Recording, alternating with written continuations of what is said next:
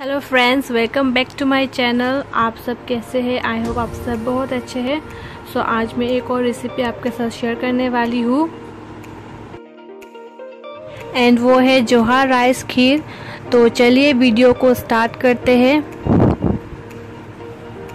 मैंने डेढ़ लीटर दूध लिया है. तो इसे अच्छे से उबाल आ जाएगा. तब मैं इसमें चावल ऐड करूँगी. तो दूध में अच्छे से उबाल आ चुकी है. अब मैं इसमें जोहा राइस डाल दूँगी. तो चावल को मैंने पहले से आधा घंटे के लिए भिगो के रख दिया था। तो इसमें मैं पूरा चावल डाल दूँगी। और चावल डालने के बाद इसे पाँच मिनट तक इसको हिलाते रहना है ताकि कि, ताकि चावल जो है नीचे से ना चिपके।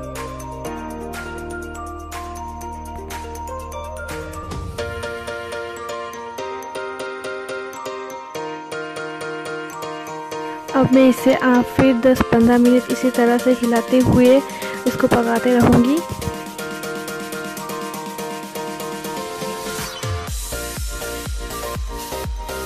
चावल जो है अच्छे से गल चुकी है।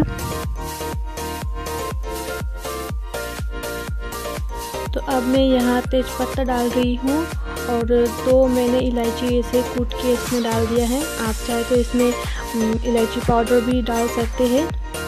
और इसे मैं अच्छे से मिक्स कर दूँगी।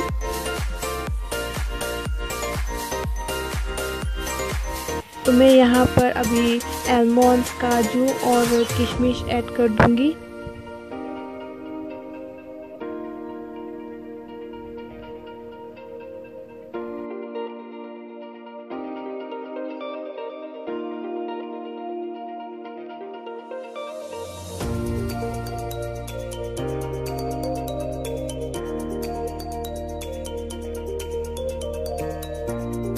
और मीठे के लिए मैंने यहाँ चीनी का इस्तेमाल नहीं किया है। मैंने यहाँ पे लिया है धागे वाले मिश्री।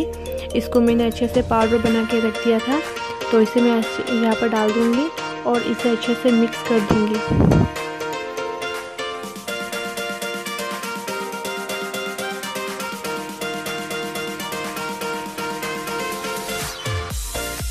लास्ट में मैं इसमें एक चम्मच घी ऐड कर दूँगी। इससे टेस्ट बहुत अच्छा आता है। और इसे अभी अच्छे से मिक्स कर दूँगी। तो ये हमारा खीर बनके तैयार है।